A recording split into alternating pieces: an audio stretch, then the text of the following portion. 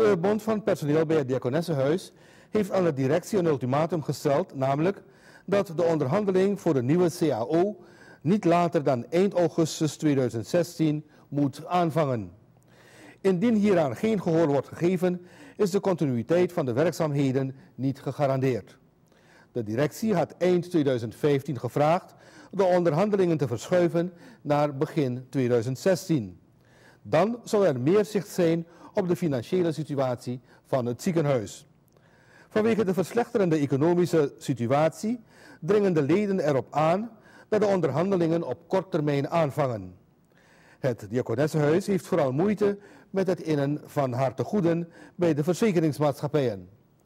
De directie heeft de bond ook aangegeven dat de financiële problemen zijn ontstaan toen de regering het besluit nam om de basiszorgverzekering te introduceren.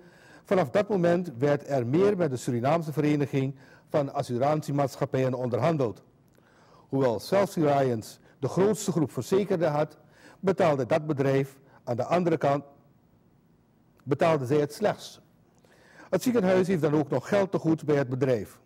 Aan de andere kant zijn de lichtdagtarieven aan de zeer lage kant, vindt de directie van het Diakonessenhuis. Deze zijn nu ver beneden de kostprijs. De roep van de ziekeninstellingen om de lichtdagtarieven aan te passen had ook nog niet het gewenste resultaat opgeleverd. Het lukt de directie daarom vaker niet de salarissen op de afgesproken datum uit te betalen. Door de late uitbetaling van de salarissen worden zij die een lening bij een bankinstelling hebben genomen geconfronteerd met boeterentes.